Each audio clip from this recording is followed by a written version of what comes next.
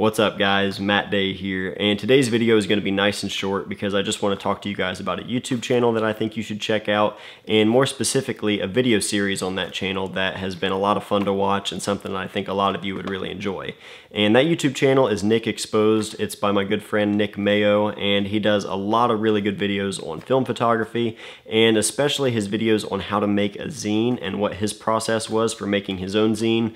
They've been really, really good, and they've inspired me to pick out my old zine and kind of like flip through it and kind of share this with you guys because it's a lot of fun making a zine. If you're not familiar with what they are, it's just a really simple DIY kind of publication on your photography, your uh, really just anything. You can do a zine on just about anything, but they're really, really popular in photography. And this is my zine without reason. I made this back in uh, the summer of 2013, so it's about four years old now, but I had a lot of fun making this thing. Uh, I hadn't seen it in years. This is just like the proof copy that I had made. I made all these over at my local Office Max. Um, but I sold, I think, a limited run of 25, maybe 50, uh, but they all sold out, and this is the only uh, proof copy that I have, so hadn't looked at this thing in years until watching Nick's videos, and uh, it was a lot of fun to, to hear about his process and how he made it, and kind of see some of this old work and stuff and just an old publication.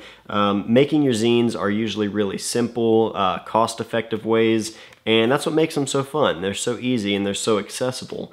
And uh, it's something that I always encourage people to do at least once. This is my one and only zine, and I want to make another one, but uh, it was really, really cool to, you know, pick this thing up again after seeing Nick's videos. He has a really, really nice zine, and he goes into detail on his YouTube channel on the process of shooting it and laying it out and everything.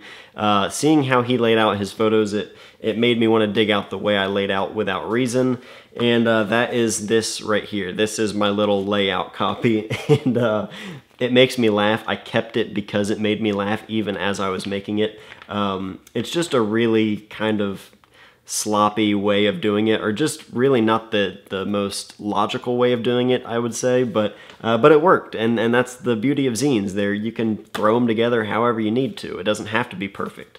Um, but the way I did this was I laid out some copy paper, you know, that you would put in your printer, and I just folded everything in half and stacked it up. They're not stapled or anything.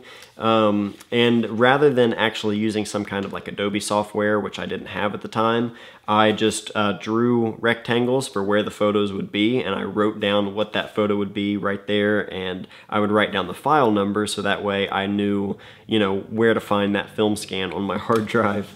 And uh, I, I, did all this. You can see I've used a, a, red Sharpie that I made certain edits and changed things and switched things around.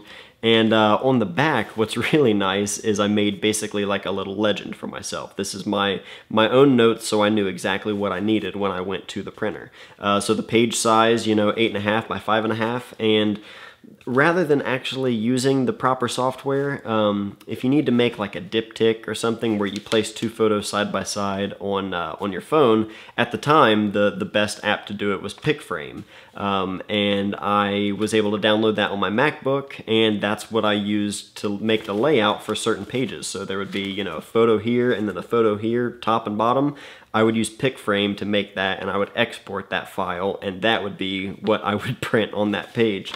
So here for my note, I know that uh, I was using the ratio of 2 to 3 for those and uh, the border size was at 10. So not the uh, not the most professional way to, to get those kind of results, but uh, but it worked. And again, that's what's so fun about zines is you can throw them together really just about any way, and uh, it works. You know, I, I sold out on this zine, and it was, you know, cheap to make, cheap to sell, and it was just a way for me to kind of share some photos I had made that summer and it was a lot of fun to make. It really, you know, just digging through this, it makes me want to make another one. And uh, if you guys are interested in making zines, definitely check out Nick's channel. He has a lot of great videos on that and other videos as well. He's got a lot of really cool videos about shooting film and just the creative process in general. And uh, honestly, I've gotten to know him over the last few months, and Nick is one of the nicest and uh, most selfless people out there. He's always looking to help out other people, and we need more people like that. So definitely go check out Nick's channel and the videos he does on making zines. I'm going to put all the uh, links you need in the description below. So thank you guys for watching. I will see you guys next time.